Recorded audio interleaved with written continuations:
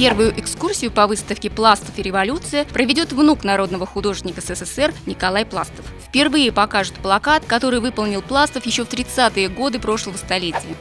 На новой выставке народного художника Российской Федерации Виктора Сафронова впервые можно будет увидеть картины, запрещенные к показу в 80-х годах прошлого столетия.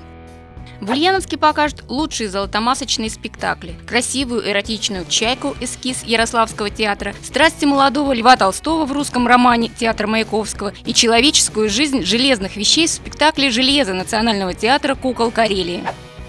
Гёй-Гёли в переводе с азербайджанского «Голубое озеро». Это название национального ансамбля из города Генджи, Республики Азербайджан. Коллектив репертуар которого не ограничен фольклором, выступает по всему миру. Концерты в Ульяновске пройдут в рамках седьмого международного культурного форума ансамбль, в составе которого и танцевальные группы, и вокалисты, и совершенно уникальная инструментальная группа, которые э, играют, исполняют национальную азербайджанскую музыку э, на национальных инструментах.